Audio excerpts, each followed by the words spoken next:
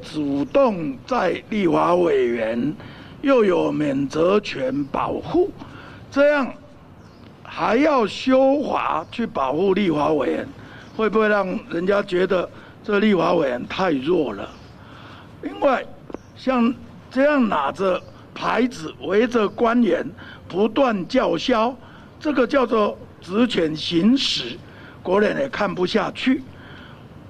在立法院每一次质询，你看主席都说询答时间十五分钟、三十分钟是询答。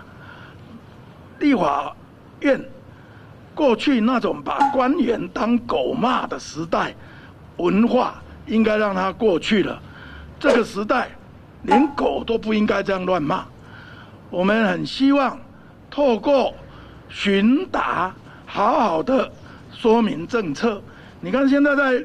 咨询的时候，官员好想解释讲话，都一再说委员可不可以给我十秒钟，一句话就好，就是不肯，一开口就是骂，一开口就是骂，有时候连三字经都骂出来，所以我们常常要请优秀人才到政府来，有一些人不敢来，第一个理由就是他们不愿意面对。谩骂式的立法委员，那台电这么大，供给全国民生产业用电这么多，二十四小时一年三百六十五天，我们都可以看到尽心尽力。那如果哪个地方因为跳电、停电这种事故性的停电，过去在国民党执政的时候，二零一二年一年有两万一千件，现在经过各种补强措施，减为九千件，但还是不能避免，所以我们还会继续加强。但如果这样又要来讲什么动物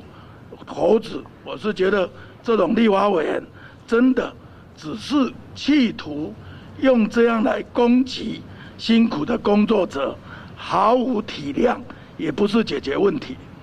那 T 台三立要询问，为抑制通膨，央行宣布升息，那未来房贷族可能压力变大，那院长怎么看应应的措施？央行对于升息降息都有它很严谨的专业作业，而且央行也已经对外详细说明。我们都觉得今天台湾能够经济发展。能够相对物价虽然受到国际冲击，有各种战争、疫情等等的影响，不过还是尽量要维持啊，减少通膨，让民众生活少压力。那政府还是继续努力。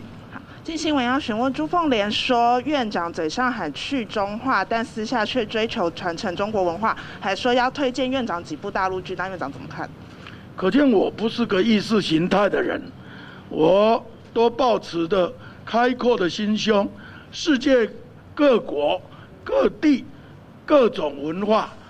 各种戏剧影片，我都有兴趣，而且都仔细观赏。我看很多中国人也喜欢看日剧、韩剧，人家日本、韩国也没有要求中国必须跟他统一，所以中国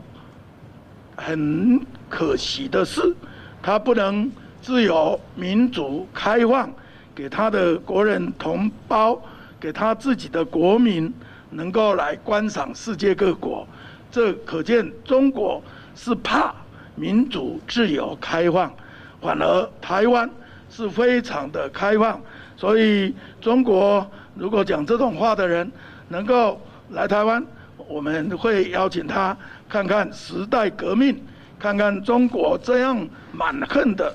违背承诺对付香港人民，是多么的残忍不智跟违反普世价值。